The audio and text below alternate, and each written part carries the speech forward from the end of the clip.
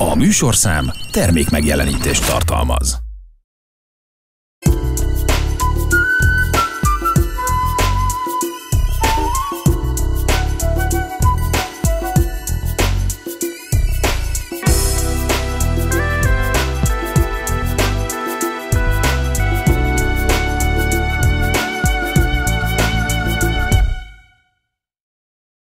Szép estét kívánok, köszöntöm kulturális magazinunk a Paletta nézőit április 11-én kedden 17 óra 20 perckor. Mai adásunkban Rómába látogatunk el, virtuálisan és valóságosan is, majd köszöntjük a magyar-lengyel barátságnapját, végül pedig megismerhetjük zenei örökségünk egy részét. Tartsanak velünk! A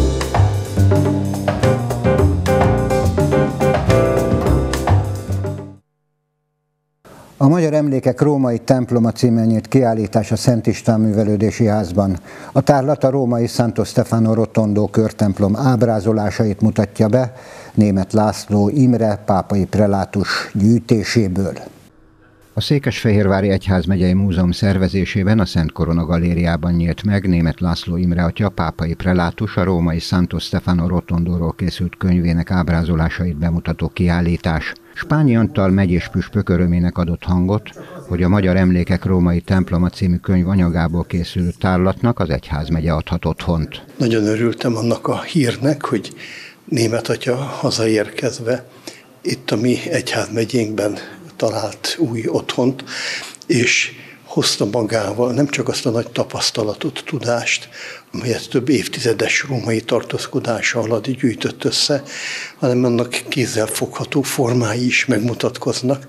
Így az a csodálatos kiadású könyv, amely a Szent Giovanni Rotondo templomnak a történetét, művészeti értékeit mutatja be, és most örülünk annak, hogy itt ebben a kiállító térben sikerül bemutatni azokat a metszeteket, amelyek hitelesen mutatják bennek a templomnak történetét, múltját és jelenét. Az emberek szeretnek utazni, nem mindenkinek sikerül eljutni Rómába, de most ezeken a képeken keresztül egy kicsit mindannyian lélekben eljuthatunk Rómába, és ezt a csodálatos templomot megszemlélhetjük. Mert Róma mindannyiunk közös hazája? Róma mindannyiunk közös hazája, különösen ebbe a templomban, ahol sok magyar emlék van, ahol magyar gyóntatók dolgoztak, ahol magyar pálosok is tevékenykedtek, és amelyet sokan Rómába magyar templomnak hívnak. Az érdeklődők Molnár Antal történész előadásából ismerhették meg a másfél évezrede épült kegyhely történetét. Molnár Antal hosszú évekig a Római Magyar Akadémia, illetve a Történettudományi Intézet igazgatójaként tárta fel a körtemplom történetét. Santo Stefano Rotondo az azt mondhatjuk, hogy a legmagyarabb temploma Rómának. Ha nem is nemzeti templom abban az értelemben, ahogy a németeknek, spanyoloknak, franciáknak nemzeti templomaik vannak, de kétségtelenül a legtöbb magyar emlék a római templomok közül az a Santo Stefano Rotondóban van. 125 éven át a pálosok temploma volt, itt alapította meg 13. Gergely pápa a Magyar Kollégiumot, amely 1579-ben, amely 1580-ban egyesült a német kollégiummal, és azóta a Santo Stefano Rotondo az a német-magyar kollégiumnak a tulajdonában van, és hát igazában véve a azt lehet mondani, hogy 1454 óta mi magyarok e, otthon vagyunk ebben a templomban, amióta ugye a pálosok, majd a magyar kollégium és utána a német-magyar kollégium tulajdonában volt. Rómának talán az egyik legkülönösebb, legizgalmasabb temploma, hiszen együtt épült, abban a korszakban épült egy kicsivel később, mint a nagy római bazilikák, a Szent Péter, a falakon kívüli Szent Pál vagy a Lateráni Szent János templom, és ugyanaz a méret, ugyanaz a császári akarat építette ezt a templomát, és Szent István vértanú tisztelet tiszteletére. Az az érdekessége, hogy tulajdonképpen a római birodalom, nyugat-római birodalom bukása előtti évtizedekben épült fel, tehát nagyjából tíz évvel a birodalom bukása előtt, és attól kezdve tulajdonképpen egy kicsit ilyen elhagyatott templom volt, azért ez a, az egykori Rómának abszolút a perifériája volt, tehát nagyon messze volt mindentől, és, és nem is igazán tudták sokáig mire használni. Az első igazi használata ennek a templomnak az volt, amikor ott volt a Pálos Kolostor 1454 és 1579 között. Én úgy gondolom, gondolom, az volt bizonyos értelemben a fénykora ennek a templomnak, és azóta tekintjük ezt magyar, ö, magyar templomnak. Mondom még egyszer, nem úgy nemzeti templom, ahogy a, a, a nagy nemzeteknek, vagy néha kis nemzeteknek is van nemzeti templomok, de mindenképpen hozzánk nagyon-nagyon közel áll, és én nagyon szerettem oda járni, egy fantasztikusan szép környék. Ugye az Antik Rómának ez volt a Célius hegy, a Rózsadombja, és ez most is egy nagyon-nagyon kellemes, nagyon nyugodt környéke Rómának, egy kicsit olyan arhaikus környéke, és hogyha megnézzük ezeket a metszeteket, amelyek német László atya gyűjteményéből kiállításra kerültek, akkor látjuk, hogy úgy áll a semmi közepén a réten, antikromok, vízvezetékek mellett. Ez tulajdonképpen ez a környék egy kicsit most is ilyen. Tehát nagyon jó volt oda kimenni a Mincenti misékre, illetve most is nagyon jó, ha Rómába megyek, akkor, akkor gyakran felkeresem ezt a templomot. Az elmúlt években már a hóvégi magyar szentmisék is a Santo Stefano Rotondóban vannak, tehát azt lehet mondani, hogy most ismét, ismét magyar templom lett, így a mindennapos használatban is ez a, ez a kerek templom. Tehát ha ott vagyok, és olyankor vagyok ott, amikor hóvégi magyar szentmise van, akkor természetesen mindig, mindig kimegyek, és nagyon jól érzem ott magam. Kimondhatjuk, hogy erre talán Mincenti Bíboros is büszke lenne? Mindenképpen, én szerintem ő is nagy örömmel nézni ezt a kiállítást. Ugye Mincenti Bíborosnak nagyon fontos volt ez a templom. A közhiedelemmel ellentétben a magyar bíborosoknak a címtemploma egyetlen egy esetben volt csak a Santo Stefano Rotondo, ez pedig Vincenti bíboros, aki tudatosan választotta ezt a templomot. Ugye többi magyar származású bíborosnak a 13. századtól kezdve különböző római címtemplomokat, címtemplomokat választottak vagy jutottak. Vincenti bíboros azért választotta ezt címtemplomának, mert ő ott egy magyar egyházi lelkiségi központot szeretett volna kialakítani, és nagyon-nagyon sokat dolgozott ezért. A történelmi körülmények ezt nem tették lehetővé. 30, 31 évig volt ez az ő címtemploma, és hát abból a, a bocsánat, 29 évig volt a címtemploma, hát lényegében annak a nagy részét több börtönben amely az amerikai követségen és számüzetésben töltötte. Tehát nem tudta megvalósítani a nagy álmát, pontosabban hát részben megvalósult ugye a Szent Istvánház alapításával, de biztosan ezt tudjuk az ő levelezéséből és minden anyagból, hogy borzasztóan a szívén viselte ennek a templomnak a sorsát, és hát reméljük, hogy, hogy az álom egyszer, egyszer a Santo Stefano Rotondóban is valóra válhat. Az 1998 és 2020 között Rómában szolgáló német László két évtized gyűjtő munka után vállalkozott arra, hogy könyvformájában mutassa be az örökváros egyik ismert műemlékét, a Szent István kerektemplom a 16. és 20. század között készült ábrázolásainak jellegzetes darabjait. 22 éves római tartózkodás után jöttem haza Magyarországra. 22 év alatt gyűjtöttem metszeteket a Santo Stefano Rotondóról, és úgy gondoltam, hogy ezt be kell mutatni másoknak is, ne csak az én fiókomban lapuljanak ott ezek a szép metszetek, hanem a metszeteken keresztül sokan megismerhessék ezt a gyönyörű templomot, amelyben a legtöbb magyar emlék található Rómában. Ezen túl mi a különlegessége a Santo Stefanónak? A Santo Stefano Rotondónak a különlegessége, hogy a Róma harmadik legnagyobb temploma volt, benne egyesül a kereszt alakú templom és a körtemplom, amely így egy teljességet akar kifejezni. Miként lehetett ezt összegyűjteni? Ugye említette, hogy több mint két évtized munkája fekszik benne. Rómában vannak metszetboltok, de miután én egész Olaszországban jártam, a lelkipásztori munkám kapcsán. Sok más városban is fölkerestem a metszetboltokat, és lapozgattam, keresgettem, és az évek során összejött egy szép gyűjtemény, amelyben több mint 150 metszet van. A tárlaton túl ez könyv alakban is látható. Igen, a könyvemben nem minden metszet van benne, a könyvnek az a célja, hogy a rotondó különböző ábrázolásainak a típusait bemutassa a metszeteim alapján. A tárlat május 13-áig tekinthető meg a Szent István Művelődési Ház Szent Korona galériájában.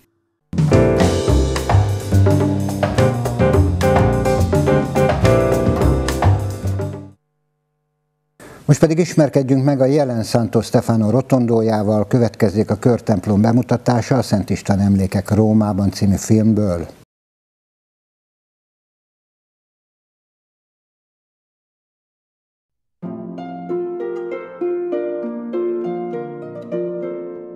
Vándor Közös hazánk volt Róma, és az is marad. Ecce hospitalis Stefani Regis Hungarorum. Ezt a feliratot betűzték évszázadokon át az örök városba érkező magyar zarándokok. Ez a néhány latin szó állt útmutatásként az őket hosszú lovaglás, gyaloglás, Alpokon és Appenineken át szekérrel való átkelés és döcögés után befogadó római szállásuk bejárata felett. Íme a magyarok királyának, Szent Istvánnak a vendégháza. István korában egy harangtornyos, számtalan európai másához hasonló ókeresztény bazilika emelkedett, egészen a középkor végéig, Szent Péter apostol sírja felett. Ezek közül az egyiket, a vértanúról elnevezett Santos Stefánót kapták meg a magyarok, magától a koronaküldő második szilveszter pápától.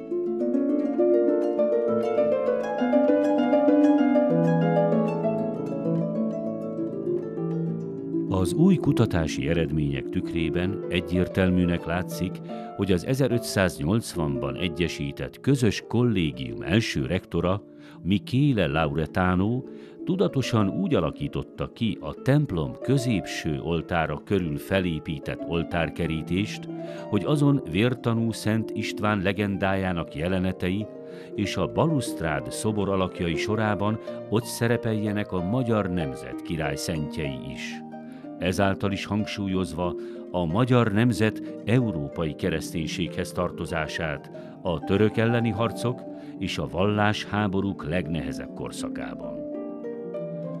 Az oltárkorlát belső oldalára festett freskó sorozaton, melyen a kor híres festője Pomarancio 24 képben jelenítette meg az első vértanú Szent István élettörténetét, mártíriumát, a halála után hozzá kötődő csodákat, az egyik kép azt a jelenetet ábrázolja, hogy a vértanú megjelenik a magyar Géza fejedelem feleségének saroltnak álmában, és megjövendöli fia Szent István király megszületését. A kép felett a latin felirat Stephanus Sancti Stefani Hungarorum Regis Predisit Ortum szinte szó szerint megegyezik a magyarországi Szent István himnuszok szövegével, míg a jelenet beállítása emlékeztet a képes krónika miniatúrájára, amelyet Berkovics Ilona így ír le. Aranyos díszítésű, vörös függönyös háttér előtt, széles ágyban félig ülő helyzetben látható sarolta fejedelemasszony, amint ölében kisded ábrázolásokra emlékeztető ruhátlan csecsemőt tart. Ágya mellett Szent István protomártír áll, és aranykoronát nyújt saroltnak. Bejárat melletti oltárkerítés külső részén a templom padozatába mélyítve nyugszik Lászai János kanonok 1523-ban készült márvány síremléke, melyen latin nyelvű verse hirdeti, hogy Róma mindannyiunk közös hazája.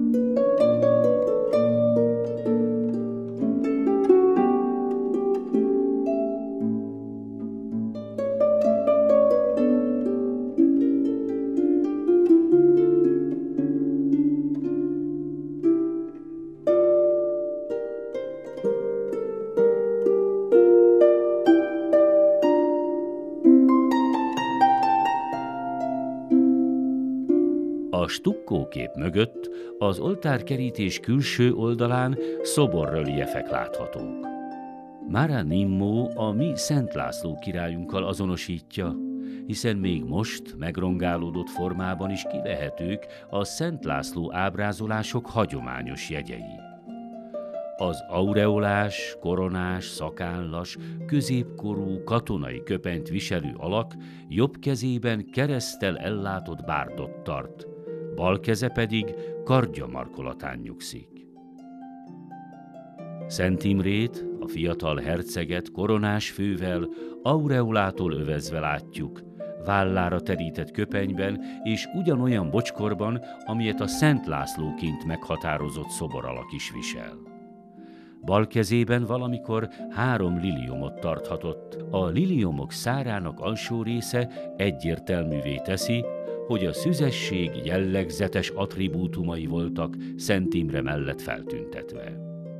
A harmadik magyar szent meghatározásában már több a kétség de Mara Nimmo igen valószínűnek tartja, hogy az oltárkerítés hátsó bejáratának másik oldalán nem Szent Helena alakja áll, hanem Árpád boldog Margit, amit a stigma szentségre jellemző kéztartás indokolna.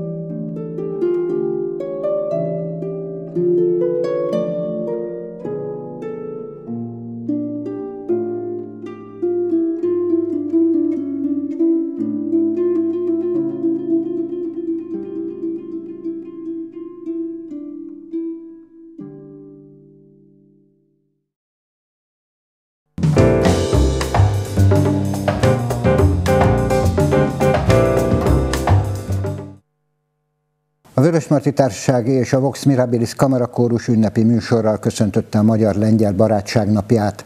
A találkozót megtisztelte jelenlétével Opole Vajdaság és Opole város küldöttsége is.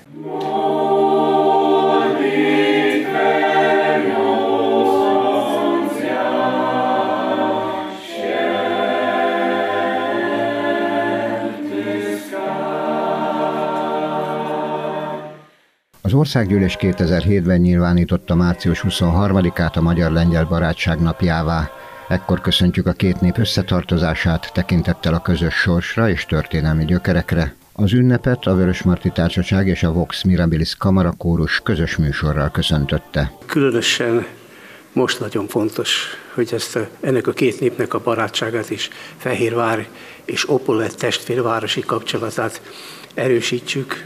Én a az est meghívójába azt írtam, hogy magyar-lengyel két jó barát, ismert, hogy Polak Wenger Zabratanki, ezúttal két nőjelet tettem a meghívóban a mondat végére, azzal a fölkiáltó jeles válaszsal, hogy igen, tak.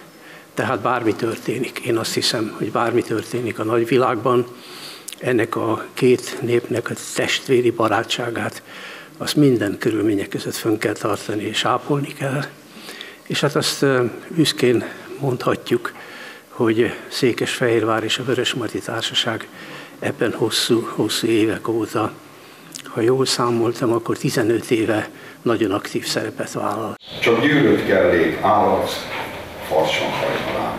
A verses zenés műsorban közreműködtek a Vörösmarty Társaság költő író tagjai, Balajti Ferenc Barta, Klára Bobori Zoltán Gálcsaba, Pép Maklári Éva, Pálfalvi András is, akik az ünnep mellett megemlékeztek Janusz Vojcsikról, a kiváló lengyel költőről, városunk tiszteletbeli polgáráról is. A ma estét azt jó részt tényleg Janusz Vojcsik emlékének szánjuk és szenteljük, aki ennek az egész kapcsolatnak a motorja volt és az ő invitálására mentem én 15 esztendővel ezelőtt először egy lengyel írótáborba, ahol megszülettek ezek a, mondhatom azt, hogy egy életre szóló barátságok, felejthetetlen élmények értek, amikor ezekben a, ebben az írótáborban évről évre részt vettem. Mindig különleges figyelemmel és szeretettel voltak és vannak irántunk, és hát eh, magyar résztvevők egy ilyen lengyel nyelvű nemzetközi irodalmi táborban, ez külön érték és külön öröm volt számomra, és nagy-nagy megtiszteltetés. Hát Janis Vujcsik hiánya az nagyon fájó. Az ünnepségen képviseltette magát Opale vajdasága, illetve Székesfehérvár testvérvárosa Opale város önkormányzatának küldöttsége is Macsai Vujec alpolgármester vezetésével.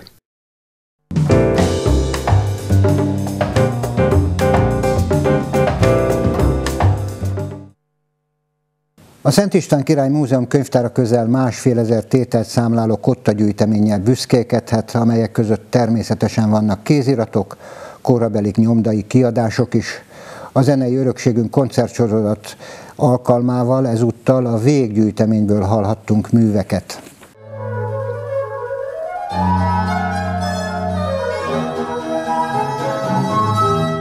A Szent István Művelődési Házban negyedik előadásával folytatódott a Zenei Örökségünk című koncertsorozat a Szent István Király Múzeum szervezésében. Az eseményen a múzeum mintegy másfél ezer tételt számláló kottatárából ezúttal Verebi Végignász gyűjteményéből hallhattak műveket az érdeklődők a Traverata Quartett előadásában, amely a kvartett fuvola művésze Balog Vera kutatásának eredménye. Verebi Ignác ö, nagyszerű fúvolása volt a kornak, és Verebben a kastélyában egy zenekart működtetett, ahol van nagyszerű zenészeket hívott meg, és ő maga is ö, ugye fuvolázott ezekben a különböző felállású együttesekben, ami ö, tehát a különböző felállású egyetesek alatt annyit értek, hogy szinte a szóló művektől a, a, hang, a fuvola versenyekig mindenféle kamaramű megtalálható az ő kottatárában, már ami fennmaradt belőle. A második világháború után Szerencsére kicsit több maradt meg belőle, mint a kastélyából, mert az ö, sajnos megsemmisült. És ezt a kotta anyagot, ezt a Szent, Székesfehérvári Szent István Király Múzeum őrzi, és egy olyan kotta anyagról van szó, amit szinte Európában egyedül, egyedülálló egy olyan gyűjteményről, különböző leginkább osztrák, német szerzőktől, néhány franciától származnak ezek a kották.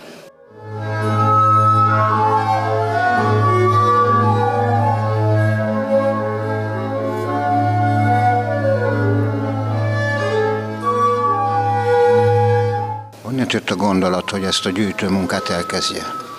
A Magyar Művészeti Akadémiának a zenei vagy művészeti ösztöndi programjában nyert, nyertem egy pályázatot, vagy ezt az ösztöndíjat, ösztöndíjat tulajdonképpen, és ennek a keretében folyik egy kutatómunka, ami azt jelenti, hogy a műveknek a pontos katalogizálása, digitalizálása zajlik, föl lesz töltve ezeknek a műveknek az eredeti kottája a, a múzeumnak a honlapjára, és ennek a keretében kerül sor különböző hangversenyek megvalósítására is. Már játszottunk duókat, triókat, kvártetteket, kvintettet, és majd április végén fuvola versenyek előadására is sor kerül.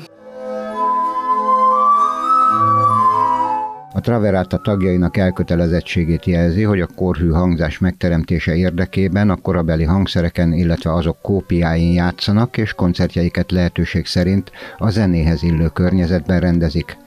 A gyűjteményben műveinek bemutatása mellett fontos számukra, hogy a közönségükön túl az új hangverseny látogatókat is segítsék a régi zenei irányzat és az egyes művek megértésében, ezért olyan kiadványokat szerkesztettek, amelyek segítenek ebben. Gyakorlatilag a fuvolásművek katalogizálása, digitalizálása befejeződött, ezekből előadások születtek már, mint koncertek, Születtek írott anyagok, elő van készítve a CD felvétel, például a ma este elhangzó kvartettek anyagából, és egy kotta kiadásra is sor kerül. Szintén a ma este megszólaltatott kvartettek, mint, mint fontos művek benne lesznek ebbe a kiadványba.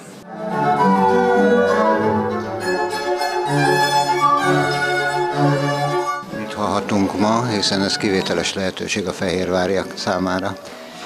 Az első művünk az hát Mozart örök, és ezért benne kellett lenni végig Ignác könyvtárában is, azonban ez nem egy olyan fuvola négyes, amit manapság játszanak, hanem abban a korban készült átirat egy zongorahegedű szonátából, meglehetősen szép, jó hangszerelésű darab, és érdekes módon ez, ezt nem szokták sehol nemzetközi szinten sem előadni. A második művünk Fusz János, tehát egy magyar szerzőnek egy fuvolla négyese. Fusz János dolgozott is Vereben, mint a Régignác házi tanítója, és egy fuvolla négyest ajánlott neki, a közül a négy közül, ami egyébként az előbb említett CD felvételjetek ott a kiadás anyagát is képezi majd.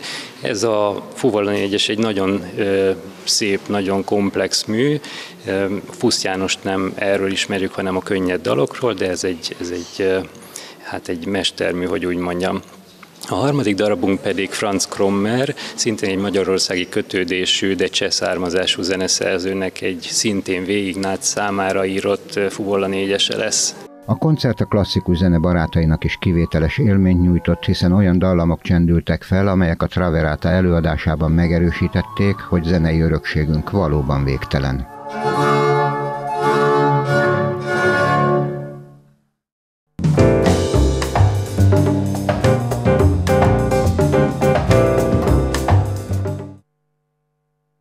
Kedves nézőink, köszönöm megtisztelő figyelmüket, találkozunk a jövő héten ugyanebben az időpontban, ugyanitt viszontlátásra.